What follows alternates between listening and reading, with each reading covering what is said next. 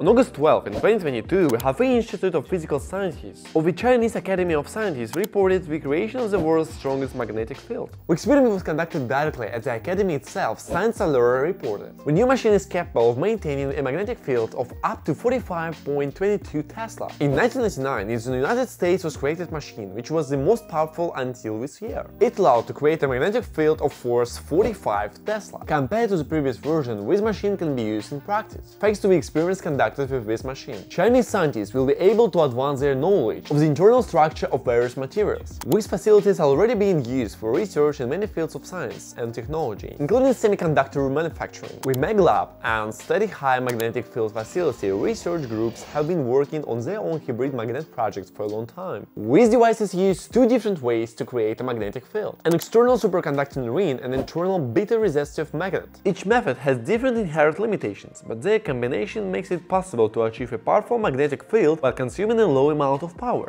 The hybrid magnet consumed 29.6 megawatts of power, which is an important achievement. In an American experiment in 1999, the device consumed 30 megawatts. Scientists noted that their record will be important for future materials research. We sustained strong magnetic field facility, which is available to scientists from around the world, has worked more than 500,000 machine hours since it began operation. It has provided conditions for more than 170 scientific and educational institutions at home and abroad to conduct experiments as a part of advanced research in various disciplines, including physics, chemistry, material science, life science, and mechanical engineering. And a few years ago, physicians from the University of Tokyo achieved 1,200 Teslas, blowing up their lab at the same time. Let us know in the comments how do you think this technology will be useful for further experiments. Subscribe to our channel if you want to receive more helpful information, just check it out on broutonlab.com.